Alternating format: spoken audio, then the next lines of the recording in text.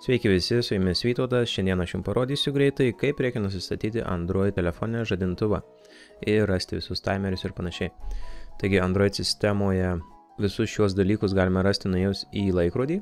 Tai tiesiog paspaudžiame laikrodžio ir čia visus matome. Turime žadintuvą, turime laiką. Čia galime įsidėti keletą laikų, jeigu norite. E, taip pat turime atgalinį laikmatį ir chronometrą.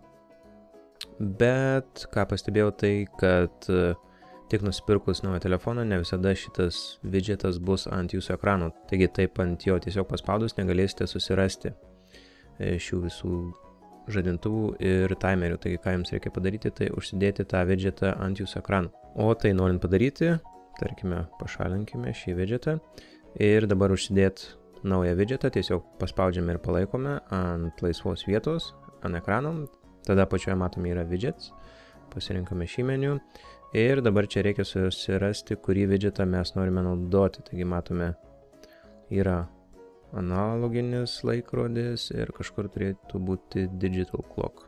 Štai čia digital clock, paspaudžiame ir palaikom ant jo ir tada tiesiog nutempiame, kur norime šį widgetą ant ekrano. Ir viskas, kada jau turime šį laikrodį, tiesiog ant jo paspaudžiame ir čia galima susikonfigūruoti savo žadintuvą kitą laiko zoną, laikmatį e, bei chronometrą. Taigi norint įsidėti dar vieną žadintuvą, jums tai reikia paspausti ant šio pliuso ir tiesiog pasirinkti, kada norite, kad jūs pažadintų. Taigi, tarkime, 6 ryto ir tada peršoka į minutės ir pasirinkame minutės 6, 30 ir paspaudžiame OK. Ir šis laikas atsiras štai čia.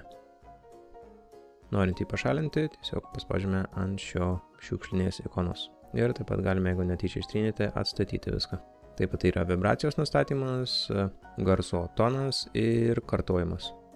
Kada norite kartuoti, galime atžymėti dienas, kuriomis šis žadintuvas neskambės ir pažymėti, tarkime, tik tai nuo pirmadienio iki penktadienio.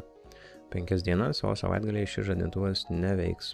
Taigi tiek apie žadintuvus, ko gero geriausia juos statytis kas 10 minučių, kokius 5 kas 10 minučių, tada tikrai nepramėgosite savo darbo ar mokyklos. Šiai pamokėliai tiek, su jumis buvo Vytautas ir susimatysime kitoje pamokoje.